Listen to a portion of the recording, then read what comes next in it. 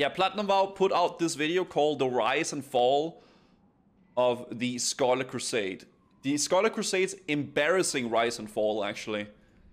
A lot of people wanted me to watch this. I haven't really gotten to do it yet, but I feel like we should watch it now. It is some very epic WoW lore.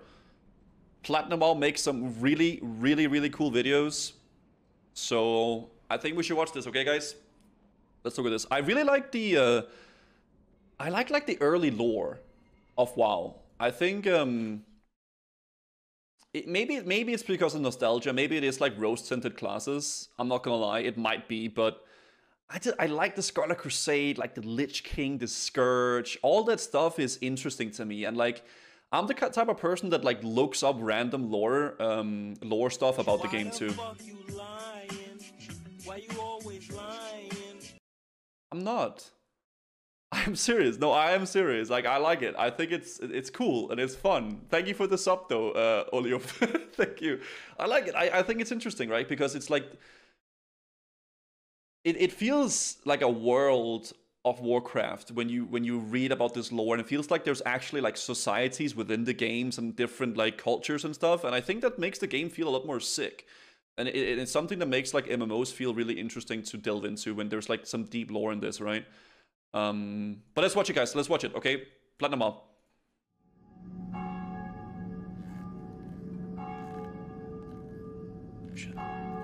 Can you not see it? Oh. Brothers and sisters, there is but one way to wipe the scourge from the face of Azeroth. The Scarlet Crusade offers you the protection that you so desperately desire.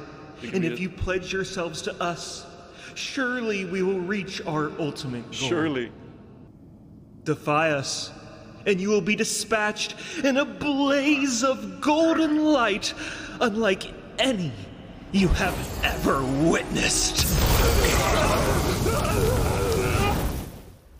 The Scarlet Crusade is one of the more unique. Dude. Dude.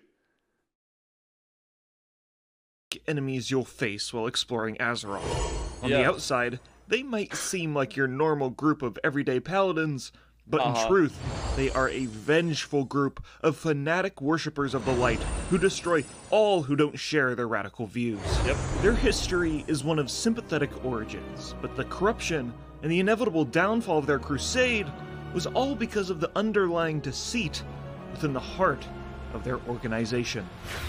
It- It's one of those things where like they want to do really well and they think in their mind they're doing something amazing and really good, but they're being corrupted, right? So they, they don't know that what they're doing is bad.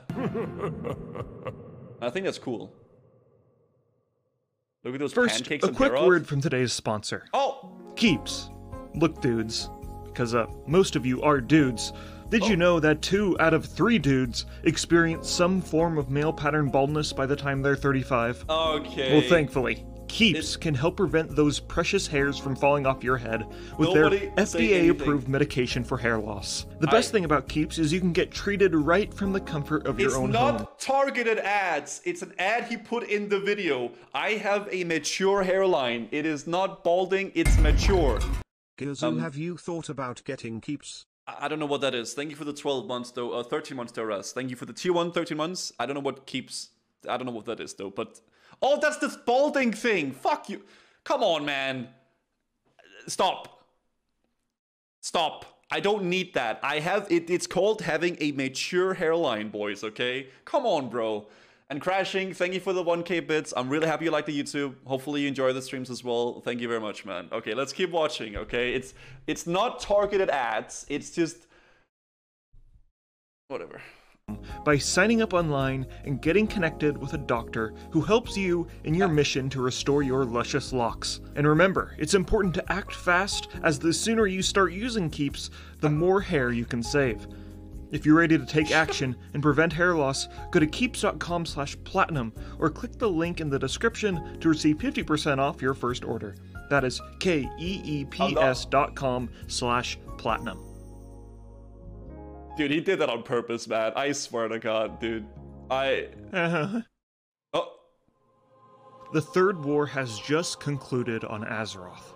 The kingdom of Lordaeron has been totally destroyed by the Scourge after the kingdom's prince, Arthas Menethil, betrayed his people and allied with the undead and killed his own father gazoo. and his mentor Uther. The group of paladins called the Knights of the Silver Hand was disbanded, but these crusaders continue to fight to defend fortified settlements where survivors cling to life. One of these paladins was a mountain of a man named Saidan Dathrohan, who was one of the original founders of the Knights of the Silver Hand. Okay. Dathrohan's significance is not because of his accomplishments, but because of his defeat. He's a chat. During an Wait, incursion into the burning city of Stratholme, Dathrohan was separated from his fellow paladins. Oh shoot! Dude, he's badass.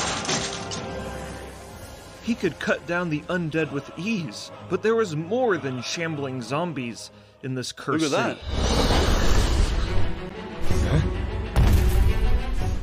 Know that I am Balnazar. Know that you are but a pawn in plans beyond your reckoning. Oh, he doesn't care. You cannot fight my will. You are mine. You are out of your league, Paladin. Saidan Dathrohan had fallen right into the Dreadlord Balnazar's trap. The demonic mastermind's ultimate plan was to possess his body and infiltrate the Order of Paladins and pull the strings behind the scenes and destroy them from within. I've been waiting for you, Paladin. Know that I will rip the soul from your flesh and make your body my own. What the... that. Oh! Is that the last... Oh. Oh, Oh. Wait, so that's why.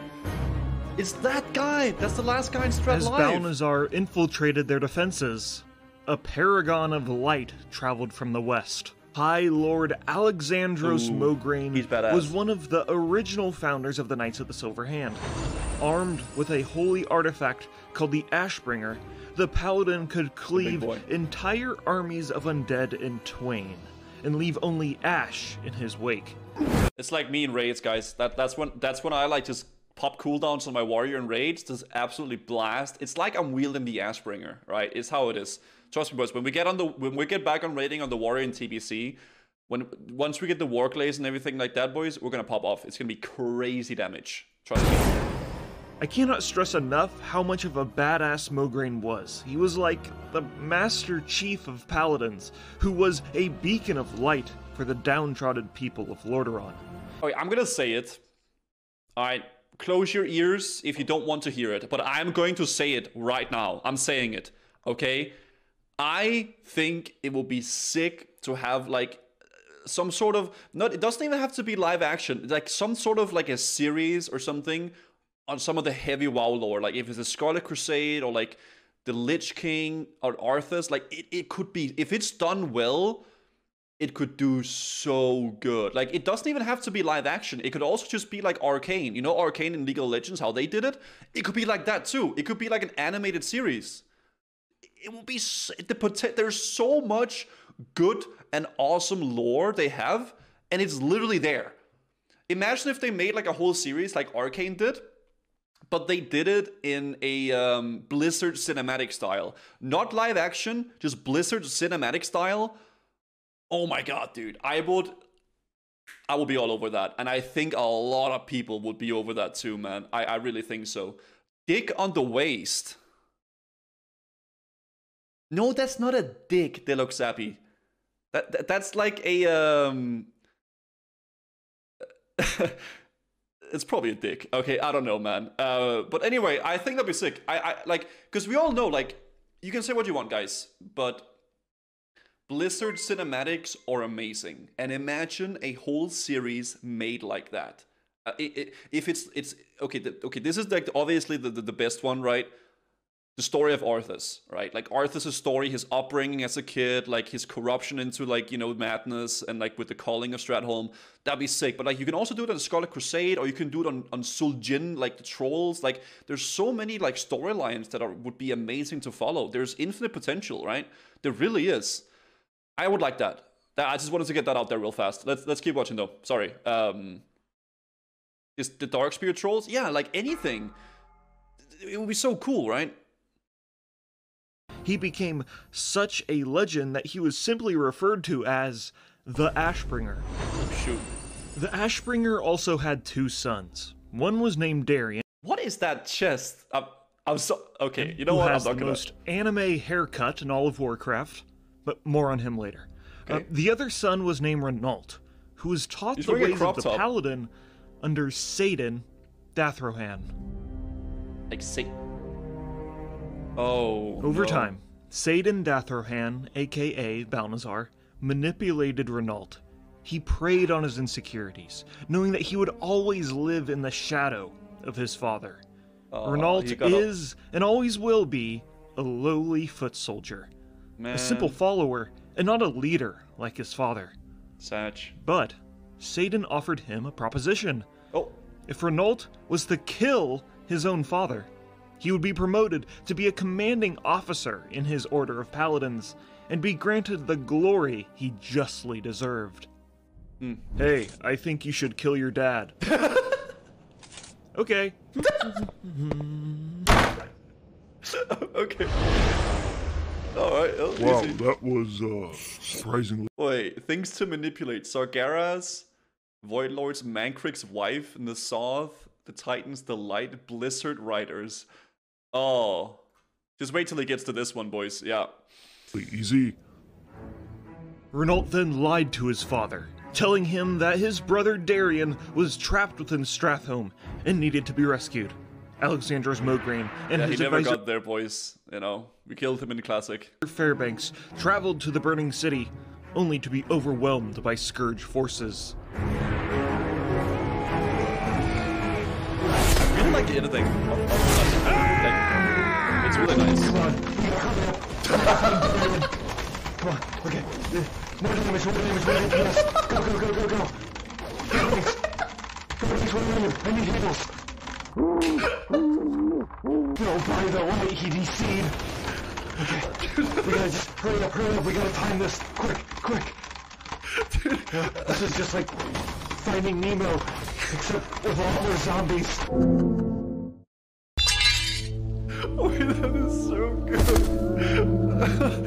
High Lord fell to the ground, exhausted after obliterating every vile creature that oh. stood in his wake.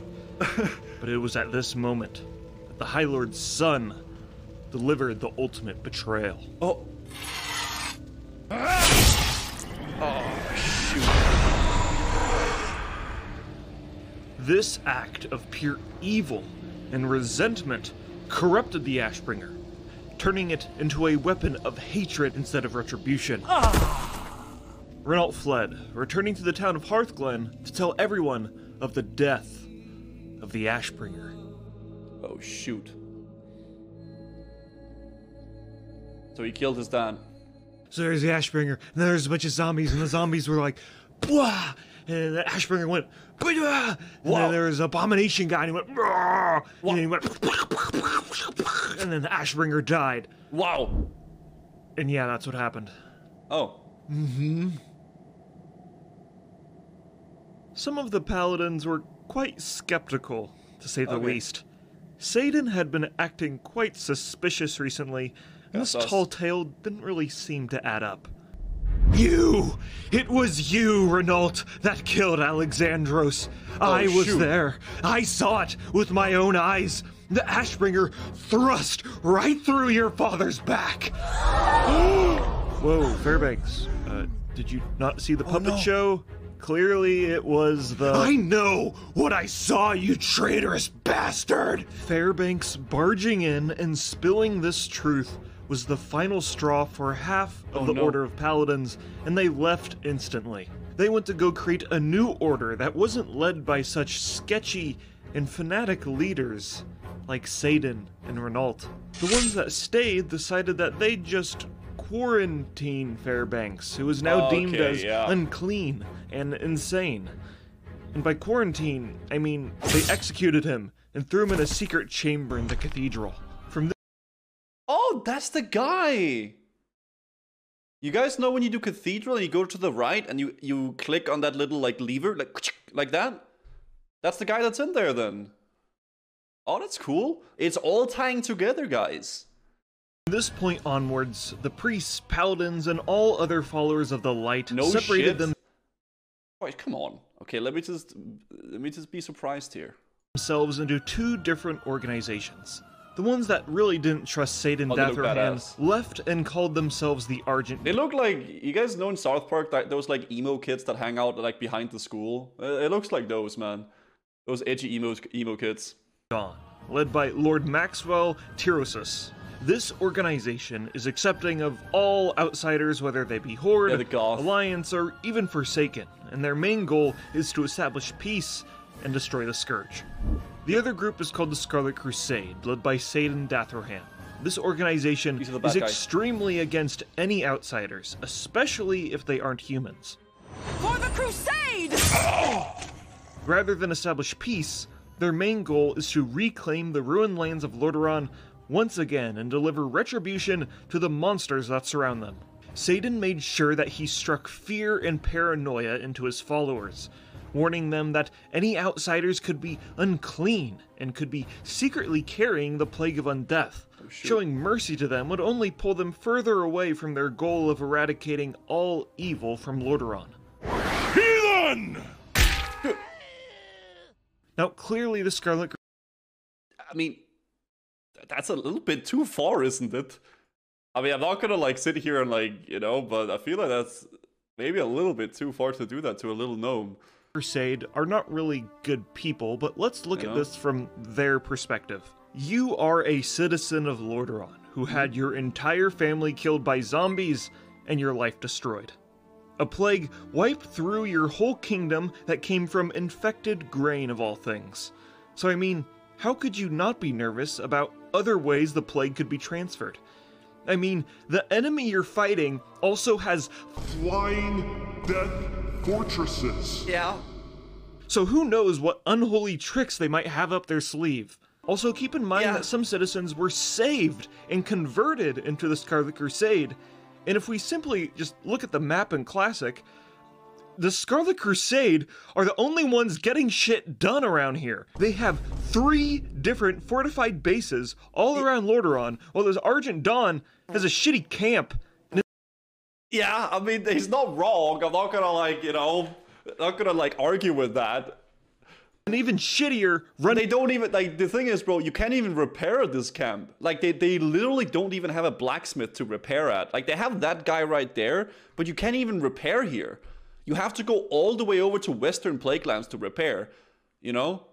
You can? No, you cannot. Not before the last patch of uh, of Classic WoW. The, the last or the second to last patch, you can't repair on this place. You have to wait till the patch because they they haven't installed it like the repairman yet. down church. This isn't about being morally good for some members of the Scarlet Crusade. This is about survival. Also, their beloved capital city, that was a deeply religious and known place of worship of the mm-hmm. light, was taken over by zombies that look exactly like the ones that destroyed it in the first place. As a living human, how can you be okay with that? But Yeah. also, from the Forsaken's perspective, who live in the capital city, they too are citizens of Lordaeron, who have retained all their memories from when they were alive and are now treated as monsters, and this is the only place they really Sad. can live. This is what makes the Scarlet Crusade such an interesting villain in WoW.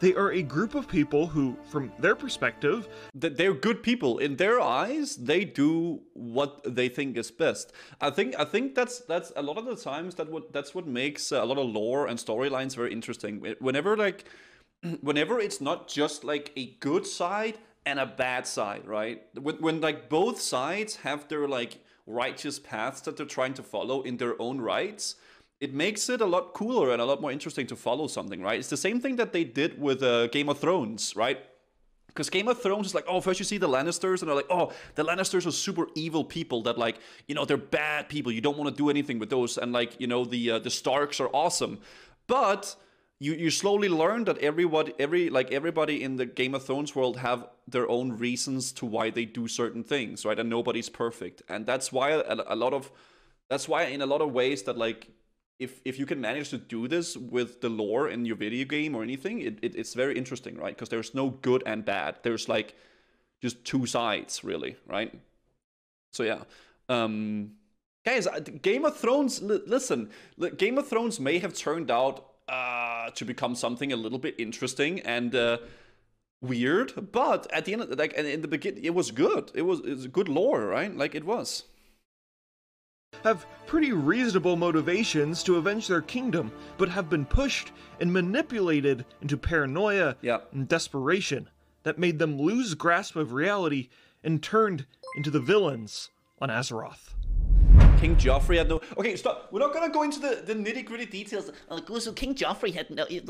Shut up. Listen, it was just like the general idea with Game of Thrones, at least in the very beginning, first four or five seasons, there's no strictly good or bad sides. They just all have the reasons as to why they're doing certain things, right? And that's what makes it so compelling and interesting, right? Because there's no like, well, this is bad, this is good. It's like, okay, well, this is bad if you look at it from this side, and this is good if you look at it from that side. You know, there's there's multiple layers to it. Obviously, people do messed up things in the show.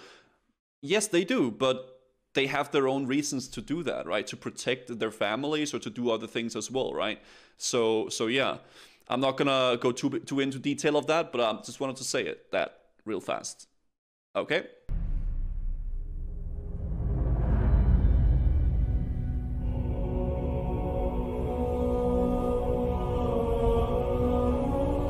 Know the Microsoft thing happened. I, we, we, we looked at we, we read all the things before this uh, video. Now that we know the insidious origins of the Crusade, let's go Joffrey was straight each evil once he took power? No, he was not. He was a fucking asshole from the beginning. It's not like he suddenly became evil just because he became to power. It just it was a lot more easily portrayed because he was in power now and he could let he could like fulfill his like evil fantasies of whatever the hell he was doing, right? But it's not like he suddenly became evil. He was just always like that, right? It's I'm done talking about Game of Thrones. We're done. Expansion in WoW and learn how the Scarlet Crusade was ultimately defeated.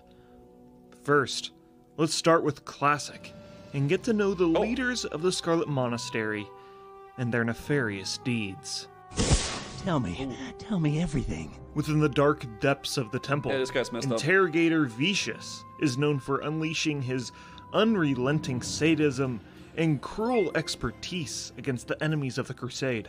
During Classic, there's a quest that involves him stealing a wedding ring from one of his torture subjects Yep. and giving it to his own wife, which is just, oh, so incredibly evil. Interrogator Vishas also makes an appearance within the Brawlers Guild, and the announcer will yell, Well, wrap me in leather and tug my leash. It's Dungeon Master Vishas. so, uh, What? Wait, who says that? you can do with that information what you will.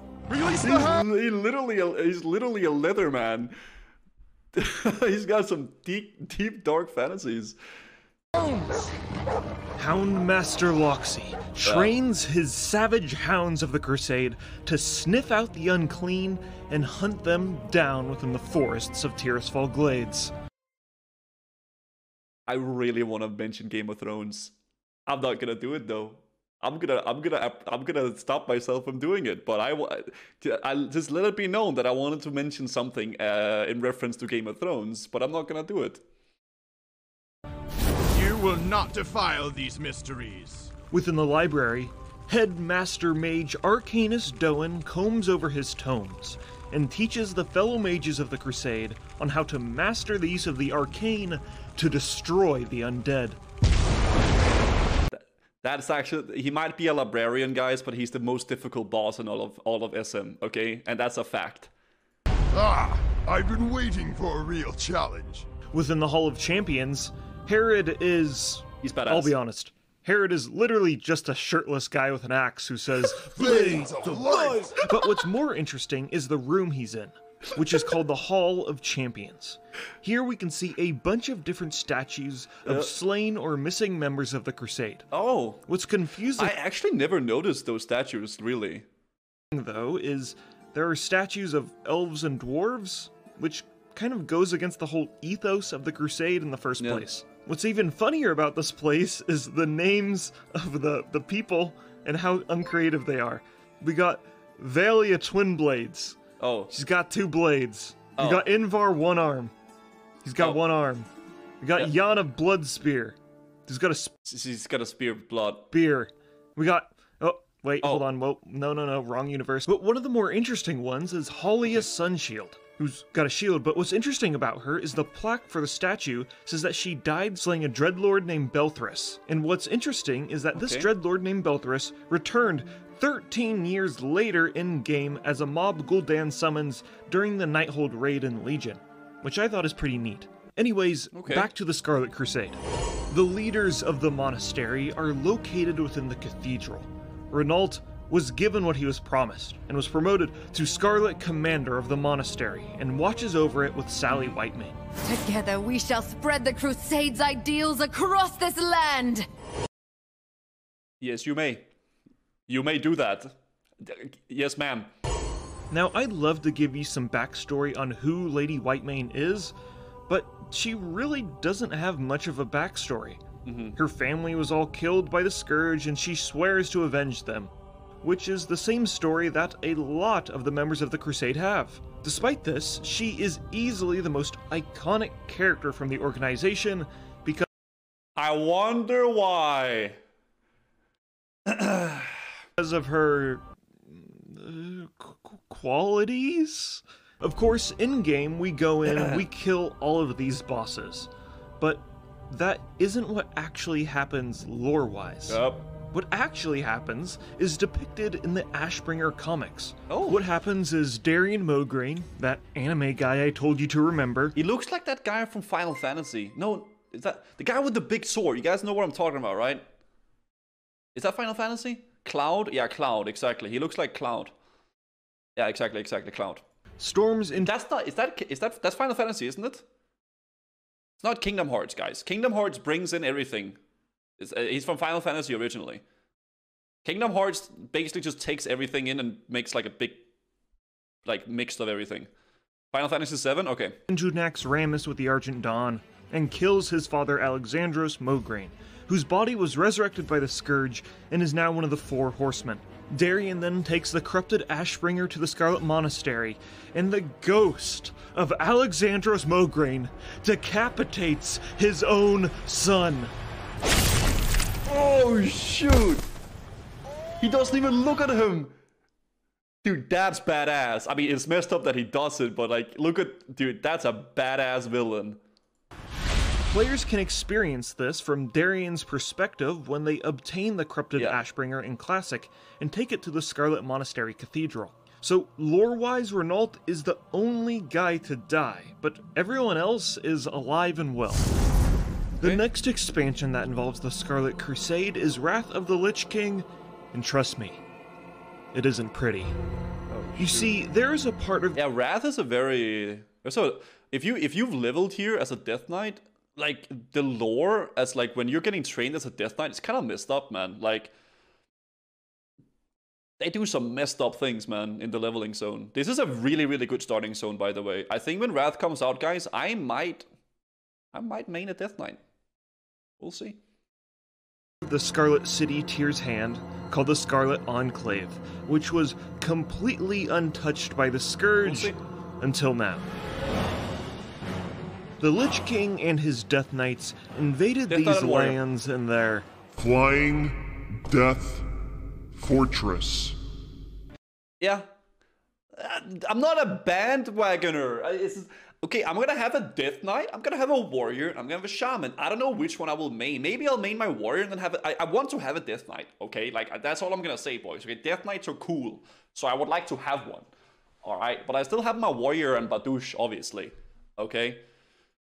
and laid the city to waste. Maybe a Rogue as well. I mean, we could also go back to the Rogue. We'll have to see. I mean, there's plenty of time to, like, think of what to do before, uh, before it comes out, right?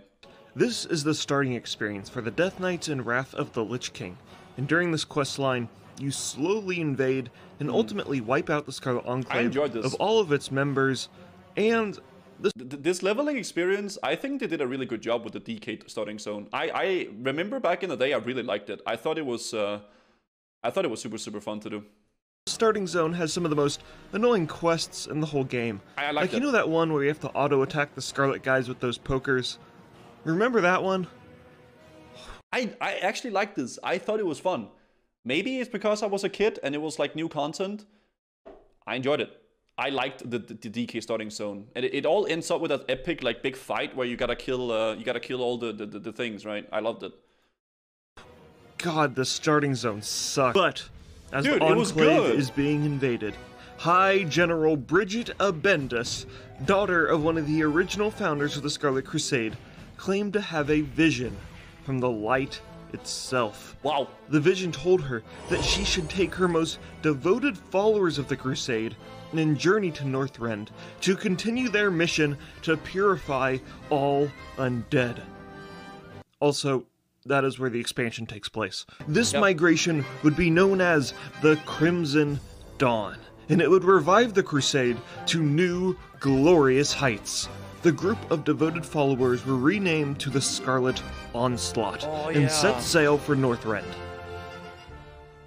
Lore.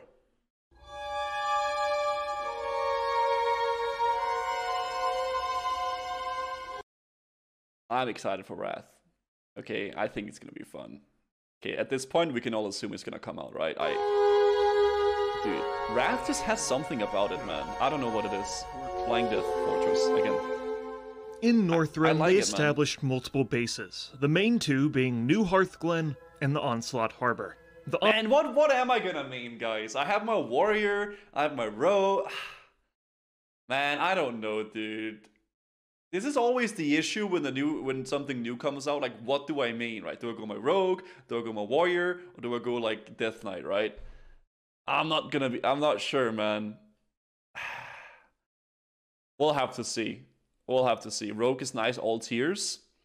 I do like Rogue a lot, man. But my Rogue is not even level 60 or like level 70 right now, right? My Rogue is still level 60 in TBC. I could actually level my Rogue in TBC though. We'll see. Onslaught Harbor easily being one of the top five most underrated locations in all of WoW because of just so out of the way it is from everything else. Onslaught Harbor. Oh yeah. The priest in me likes when you confess your sins, Oh. but the Inquisitor in me likes to punish you. Commander! I see someone on the shore. Dude. Hey, I mean, I, all I'm saying By is, the dude, light. Is that Admiral Westwind? Shit. On the shores of Northrend, Scarlet member Admiral Barian Westwind was found. Shit. He was the captain of a previous Scarlet ship that sailed to Northrend years ago and was presumed to be long dead. I mean, there's even a statue for him in the oh, Hall Oh, yeah. of Champions back in the Scarlet Monastery. Admiral Westwind assured his fellow Crusaders that he was the only one to survive on the ship and simply wanted to pledge himself to be an advisor for High General Abbendis. Besides, he had been surviving in this hellish tundra for years, so surely he knew a thing or two about. Just Surely. kidding, you son of a bitch! It was actually the Dreadlord Mal'Ganis! All along, Mal'Ganis, I am eternal! Oh my god, he's a So the Scarlet Onslaught was deceived for a second time by a Dreadlord, oh and God. Mal'Ganis manipulated his way up the ranks. But the real reason for the Scarlet Onslaught's involvement in Northrend ultimately being a failure was because of the overwhelming might of Horde and Alliance player characters. Together. I've found that I think um I think that what she's about to say is gonna make a lot of sense and I will agree with her. That's what I think. Okay? without proper guidance, crusades quickly become onslaughts. Yes, I agree. Okay, so let's jump to Cataclysm, where it's more of the same story. the Goddamn. Argent Dawn back in the Plague Lands made the best strategic decision of their life, and they allied with the player character. That's me. Hearthglen was taken over by the Argent Dawn, and Tyr's Hand was still left in ruins after the invasion of the Death Knights. Also, Balnazar was defeated within Stratholme, leaving the Scarlet Monastery as the Crusade's last bastion of hope.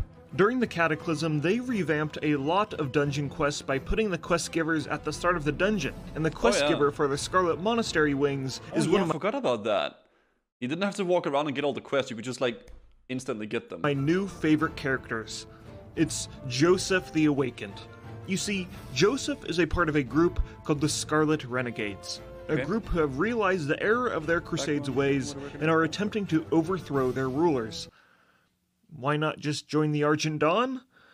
I don't know. I guess they think they just really look good in red. Anyways, Joseph seems I mean, they do look good in red though. I mean, they do look drippy. Let's be honest. to be having problems of his own. As the further you progress through the dungeon, his name changes from Joseph the Awakened to Joseph the Crazed, and finally, Joseph the Insane, where he's found dancing in the fountain in the cathedral and has the best art of all time in the old World of Warcraft trading card game. Oh shoot. So during the Cataclysm, that. lore-wise, is when all of the bosses die, except for Sally Whitemane. Why does everyone who comes to the Scarlet Monastery want to kill me? Am I out of touch? No, it is the heathens who are wrong. Yes. And in Miss I. Pandaria, the I I think she's right. Scarlet Monastery was revamped. Instead of four separate dungeons, it was combined into two dungeons instead. The most notable difference is that all of the bosses have been changed, but they're kind of just like off brand versions of the original bosses. That being said, oh, there are some interesting. Oh, yeah. I completely forgot about that. They changed the whole Mimi. Like they look. Oh yeah. That's kind of weird. interesting ones like Flame Weaver Koegler, who is so ashamed by the Scarlet Crusade's embarrassing history, he has taken it upon himself to scorch the library and destroy all evidence of their embarrassing past. Everything must burn. None shall know the Scarlet Crusades. Shame. Also, a lot of these new bosses have like really, really thick accents. Ah, stupid animals! I'll put you down after I kill these weaklings! My Why didn't they give them X? fists are scarlet with your blood! If you die, you die. To think you've come so far, only to perish here. Okay, why is it all different accents too? I mean, I guess they're from everywhere, I suppose. I don't. I don't know. Eh. That guy was Russian. Yeah. Accents have always been a weird thing in the Warcraft universe because there isn't really a place in the universe where humans live that have identifiable characteristics of heavy Russian or German accents. They kinda just have them because they sound cool. The final boss fight is still with Lady Whitemane and just some random dude named Commander Durand. We defeat them, and with the help Yep. from Lillian Voss, a complicated character I can maybe make a video about in the future, we make sure that Sally Whitemane stays dead forever. Nah, he's gonna come back. He always comes back. Okay, so in Legion, Oh. the Death Knights fight their way through the Scarlet Monastery and resurrect Sally Whitemane to be one of the Oh, this is the legendary quest, right? I never really played Legion, so I don't really know much about Legion. But I I, I know that the legendary quests like takes you to like some lore stuff. Four Horsemen. And she's just uh, whatever, yeah. surprisingly okay with it after committing her entire life when she was living to killing undead for some reason. And finally, the Scarlet Crusade had one small cameo in the Battle for Azeroth expansion. Near the Calston estate in Tirisfal, there is a collection of pamphlets from a subgroup called the Scarlet Brotherhood, Oh. and are filled with insane ramblings and, uh, yeah. Basically, the Scarlet Crusade have kind of just turned into conspiracy theorists. I'll spare you the details, but to sum oh. all of the ramblings up, they think Anduin is an undead loving traitor who is secretly trying to usurp control over Lordaeron by marrying Calia Menethil. Also, the Scarlet Brotherhood plans to team up with Greymane and kill all of the undead, then kill Greymane. And lastly, the Brotherhood says that they have secretly been raising the son of Calia Menethil, who will be the new king of Lordaeron. But Calia has a daughter Oh. and not a son, so that can't even be true. In the Yeah, this is it's a minor detail, you know. Exploring Azeroth Eastern Kingdom's book, it is stated that the Crusade was totally wiped out in Legion, and this group called the Scarlet Brotherhood is the only remnant of the Crusade we have left. So the idea of the Scarlet Crusade ever returning in Warcraft's story is unlikely. Yeah. They have been constantly losing ever since World of Warcraft came out, and their leaders have either been killed or raised into undeath. But what remains are the memories of one of the most interesting and iconic factions in all of Warcraft. The Silver Hand failed, Paladin. Join us. Yes! Take up the path of vengeance. Yes, we get it. You're edgy. Congratulations. Can we move this along? Is that it?